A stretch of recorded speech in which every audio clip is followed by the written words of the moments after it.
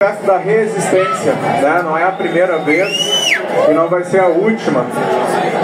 Queridos amigos, nesta noite de reabertura, deixamos aqui o nosso manifesto, trazendo alguns dos motivos do porquê estar aqui, por que reabrir, por que insistir, resistir. Esse manifesto ele é ambiental, ele é político e poético, porque pensamos que é isso que sustenta a vida, a, a natureza, a coletividade, a poesia, a arte. Neste manifesto cabe a nossa raiva, nossa tristeza, nosso cansaço, nossa angústia, mas também cabem o amor, a esperança, o deslumbre, a gratidão. Nesse manifesto cabe o absurdo, porque o absurdo foi o pesadelo que vivemos e ainda estamos vivendo. Não é absurdo o cenário de guerra que se transformou o nosso estado, as ruas, rios, os bairros marrons, a altura da água, a chuva incessante, a devastação da nossa terra e de nossas memórias e de todo o medo e privação que partilhamos? Não é absurdo que tenhamos ainda mais de 500 mil pessoas desalojadas, fora de suas casas, algumas das quais nem, já nem existem mais, e não é absurdo que, à frente de tudo isso, um governador que privatiza o patrimônio público e altera a legislação ambiental para favorecer o agronegócio, diga que avisos tinham sido dados, mas que existiam outras agendas mais importantes. Que prefeito, que um prefeito cuja política habitacional, o investimento em proteção às enchentes, são inexistentes, diga que as pessoas não deveriam morar nos lugares que inundaram, quando a sua própria casa e a prefeitura também foram atingidos pela enchente. Mas se cabe esse pesadelo absurdo, também cabem os sonhos. Porque se sonhamos com absurdo, estamos sonhando certo. Então convidamos vocês a sonharem absurd absurdamente junto conosco. Sonhamos que esse ímpeto de solidariedade e olhar cuidadoso com o outro não desapareça com o passar dos dias e a naturalização da catástrofe. Sonhamos que a gente não esqueça que tudo que nós tem é nós e que esse nós é muita coisa. Um brinde à sociedade organizada, aos movimentos sociais, às associações comunitárias, às ações solidárias e ao trabalho dos voluntários. Sem eles, essa tragédia tinha sido muito pior.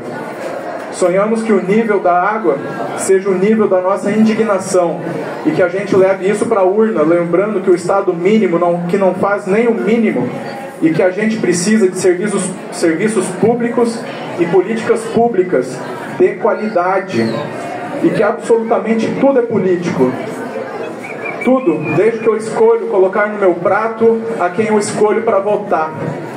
Sonhamos que a tragédia que agora nos assola seja uma oportunidade de finalmente ter uma façanha para servir de modelo a toda a Terra. A façanha de construir uma política ambiental que reduza os impactos das ações humanas, que recupere as áreas degradadas e que proteja a biodiversidade e os ecossistemas que ainda nos restam. Que a nossa façanha seja a de escolher para nossos governos quem responda à crise climática com a escuta da ciência e dos povos originários. Sonhamos com uma estrutura social que valorize cientistas, ecologistas, historiadores, historiadoras, educadoras e artistas. Sonhamos que o futuro seja ancestral, indígena, ecológico, antirracista, feminino, coletivo Sonhamos que essa janela para a utopia não se feche e que a gente busque esse senso comunitário e essa consciência ecológica de forma contínua. E quem sabe assim que a gente faça da nossa vida o próprio sonho.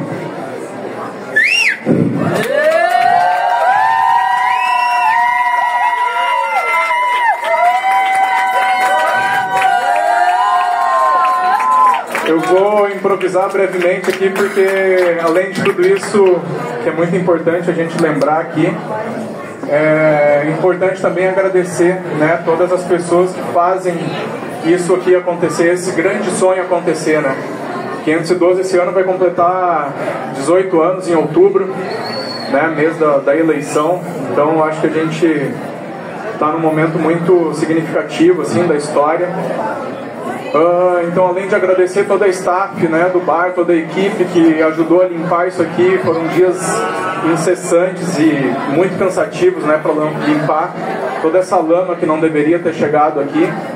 Uh, ajudar os amigos, voluntários, né? Eu gostaria de poder chamar cada um de vocês, assim, né, que contribuíram, uh, seja com a campanha, né, que a gente está com a campanha ativa aí também, ou com a presença, né, com, com um carinho, com um abraço. Uh, queria, enfim, fazer esse agradecimento né, em nome de todo o 512 e desejar vida longa né, ao 512 para que a gente possa se encontrar aqui muitas e muitas vezes ainda para celebrar a vida. Né? Então, mais do que nunca, é uma honra a gente poder receber aqui mais uma vez a Bate Sopra para celebrar a vida aí, né? E vamos dar ali com tudo, bate sopra!